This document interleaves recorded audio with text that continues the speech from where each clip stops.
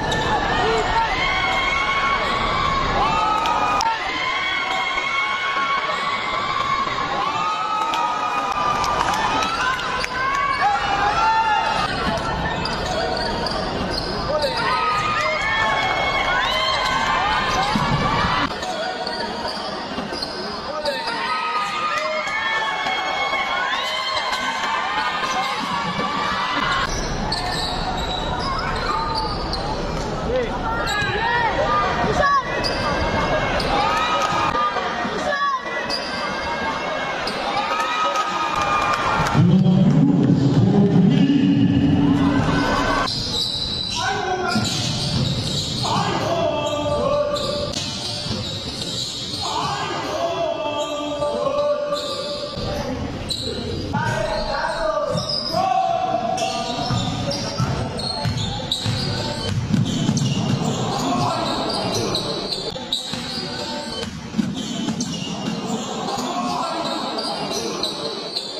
De La Cruz.